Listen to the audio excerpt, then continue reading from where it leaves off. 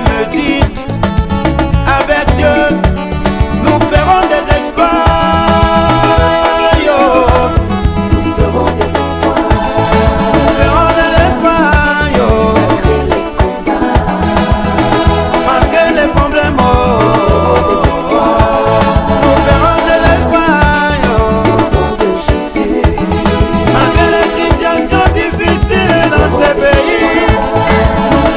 est vivant. God is alive. Moi, je veux remercier Dieu I want to thank God pour tout ce qu'il fait dans ma vie. for everything He does in my life.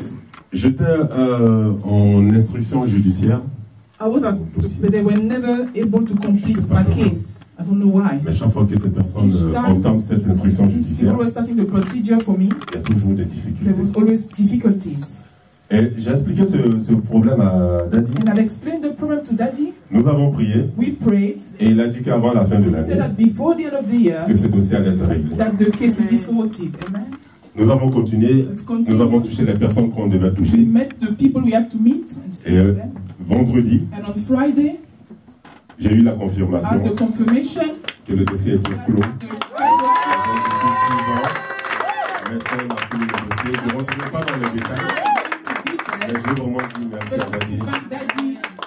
Franchement, quand ça sort de la parole d'un prophète, vous savez, nous qui, nous venons de, euh, des églises où on nous a plutôt appris la parole, c'est assez difficile de confronter la parole du prophète. Hein, par moment, lorsqu'il parle, il y a quelques petits doutes en fait, parce qu'on ne connaît pas la profondeur de la prophétie et de la prophet.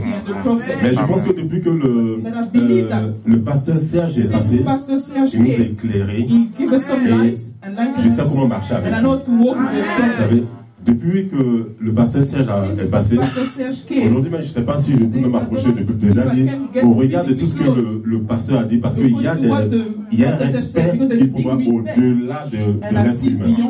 Et franchement, je lui dis merci, parce que pendant six ans, j'ai souffert. I was suffering. Pendant six ans, j'ai souffert. Et c'était vraiment une profonde instruction judiciaire. ju- um, Et aujourd'hui, And je bénis le Seigneur bless the Lord que tout a été définitivement clos. à Mais la Bible me dit, avec